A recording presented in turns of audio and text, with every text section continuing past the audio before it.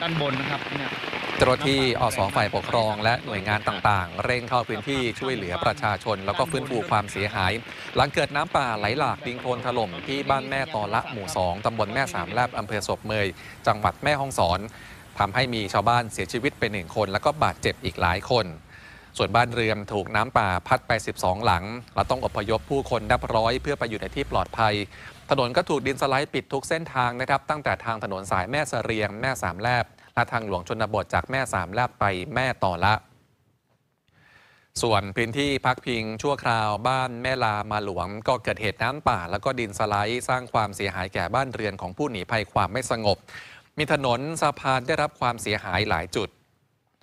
นอกจากนี้ครับยังเกิดดินสไลด์ ปิดทับเส้นทางบริเวณด่านตรวจแม่สวดใหม่ที่บ้านหมู่ 8 ตำบลแม่สวดอำเภอศพเมยเจ้าที่เร่งเปิดเส้นทางจนสามารถสัญจรได้แล้ว 1 ช่องทางขณะที่นายอัครพันธ์ภูลสิริในอำเภอศพเมย สั่งการให้เจ้าหน้าที่อสเข้าไปช่วยเหลือประชาชนที่ได้รับผลกระทบ และแจ้งเตือนให้ผู้สัญจรเพิ่มความระมัดระวังในการเดินทาง เพราะอาจจะมีหินใหญ่ตกลงมาจากภูเขา เป็นอันตรายต่อยานพาหนะและชีวิตได้ ส่วนเหตุน้ำป่าและน้ำท่วมที่บ้านทีโนโคและบ้านโคลุตำบลแม่อูสุอำเภอท่าสองยางจังหวัดตากเจ้าหน้าที่หน่วยงานต่างๆ ยังคงเร่งให้การช่วยเหลือชาวบ้าน และเข้าไปฟื้นฟูความเสียหายรับท่ามกลางฝนที่ยังตกลงมาเป็นระยะ